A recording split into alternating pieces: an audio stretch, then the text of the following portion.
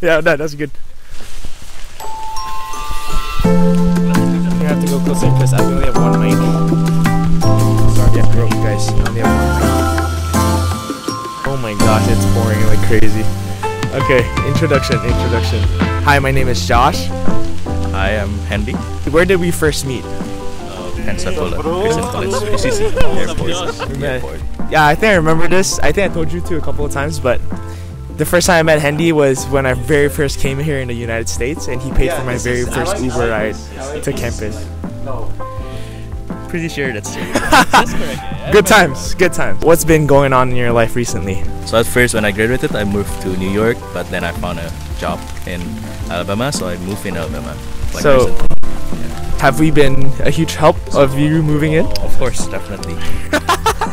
Guy, they, he helped me with building like uh, dining tables and chairs, and also he helped me like build storage stuff. So What advice do you have for people like me who are about to graduate?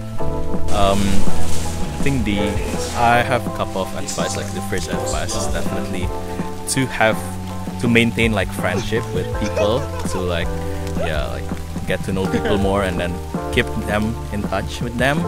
Another thing that I would say is getting out of college, you have to budget your money better. It's like in college, everything's just like, eh, especially in PCC, everything's in, is provided over there. So when you get out of college, you have to pay everything, food and stuff. Yeah. So Uh, one last question. What advice would you give your younger self? Ooh, my younger self. I would say don't waste your freshman year with stuffs that's that are not useful for your futures. What exa- What's the example of something that you think you've wasted in your freshman year of college? Like finding girlfriend. We're, I mean, I mean, like we're finding so- finding girlfriend is a good thing, but don't find your girlfriend during like freshman years. Just enjoy your life. Don't don't get a girlfriend that soon.